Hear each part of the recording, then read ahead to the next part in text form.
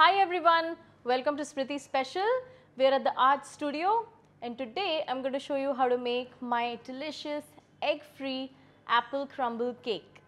Now, this is one of those cakes which is basically a cake on the bottom and then a crumbly fruity layer on the top. So let's get started.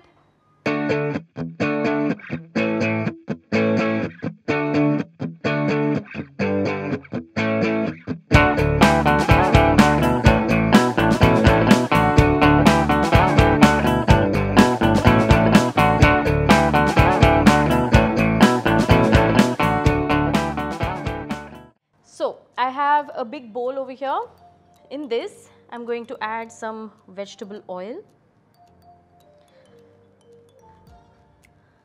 Because of the vegetable oil in this cake, this is going to be really soft and moist. To this, I'm also going to add some brown sugar.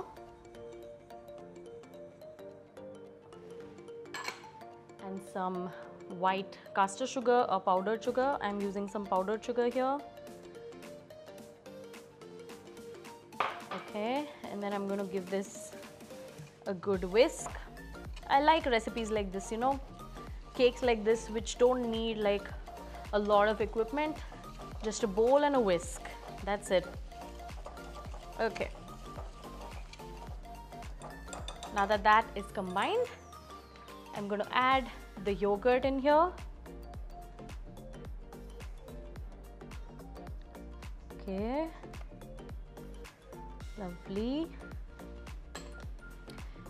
To the yogurt, I'm going to add the vinegar and baking soda. Now, with the action of the vinegar and the baking soda, this whole thing is going to get really bubbly, which is going to give the cake its final texture. Okay, so just, can you see that FOS?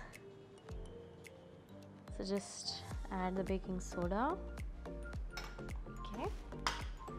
And then just mix all of that together. Switching to the whisk.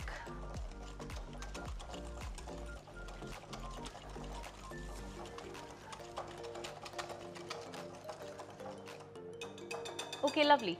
Now to this all purpose flour I am going to add the baking powder and some cinnamon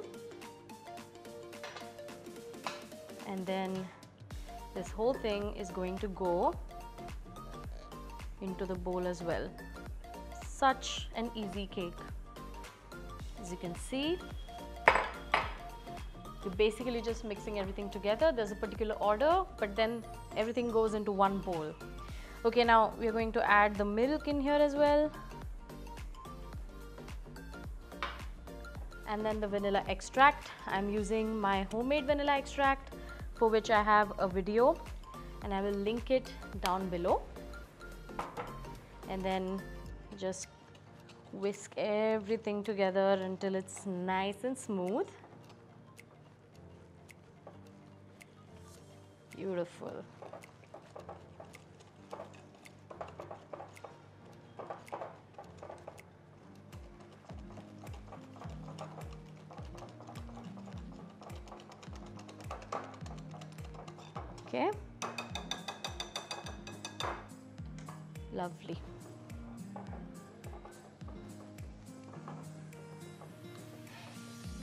Now that's my cake batter here. We're going to keep this to one side. Now what I have here is the same bowl in which we had the flour and we are going to make the crumbly topping. To this I'm going to add some butter. This is just some softened butter. Okay. Nice. And then some caster sugar or powdered sugar. I'm using powdered sugar some all-purpose flour and some oats. Now this is some quick cooking oats. You can also use some rolled oats if you want. And then we're just going to break all of this together into a crumbly mixture.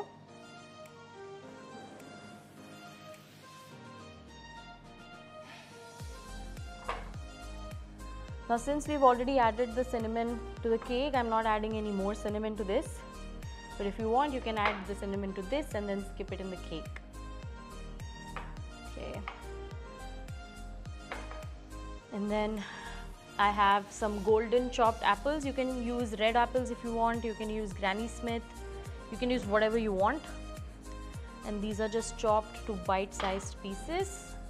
And now just with my clean hands, I'm gonna get in there and coat the apples in the crumble mixture. All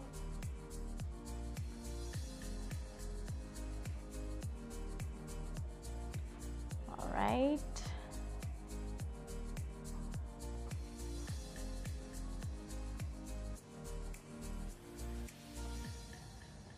I'm also going to add a little bit of vanilla to this.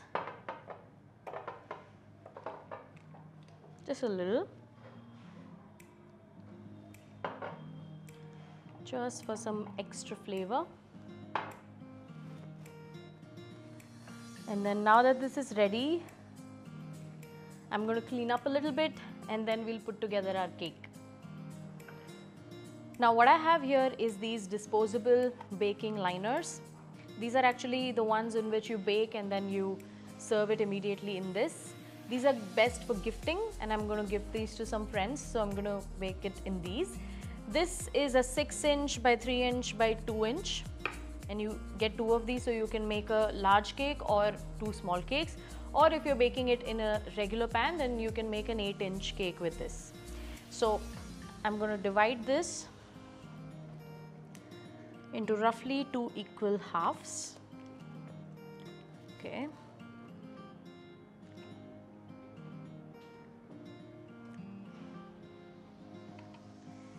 Just eyeballing it. Of course, if you're making a large batch, then you should weigh and divide this. Okay. Now it might seem like less batter for this big liner, but this is going to rise quite well and it also has the crumble layer. Okay. You can even make like little muffins with this. Now, we're going to top this with the apple.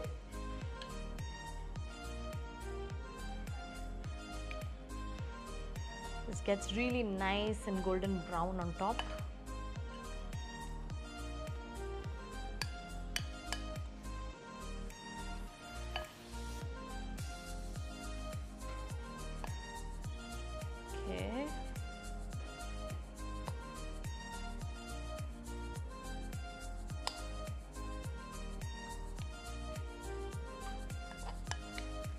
It.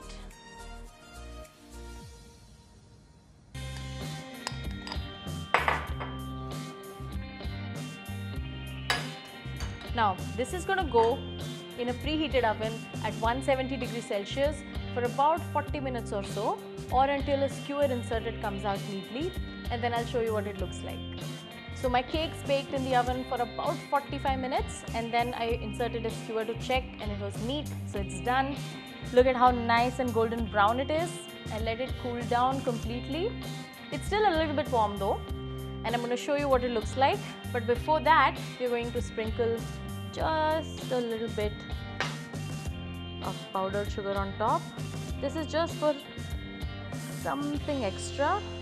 You don't need to do this if you don't want to. Just a little bit. You can even do some cinnamon sugar which is just icing sugar mixed with a little bit of cinnamon. Alright, that's good enough. Now I'm going to show you one Okay.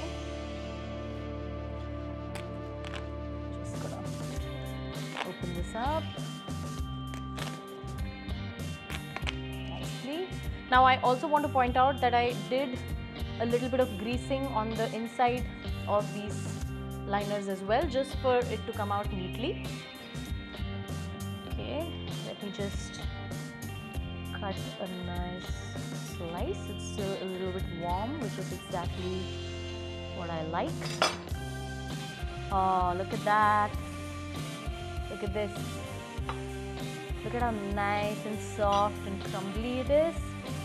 And with the nice layer of the apple on top. Now I'm gonna just give this one a little bit of a taste with a crumble.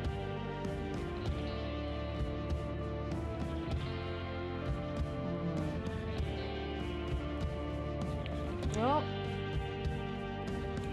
it's one of those cakes which completely dissolves into your mouth first and it's not so sweet so you won't feel bad about eating this on a Sunday morning because it's it's a cake but it's kind of like a breakfast muffin you can even put some nuts on the top if you want it's really amazing so I really want you guys to make this this weekend or for your family and friends for the festival season and whenever you do share a picture with me on Facebook, Instagram, wherever because I love to see your recreations. Like, comment and subscribe to my YouTube channel for more delicious recipes. I'll see you again next time. Bye bye.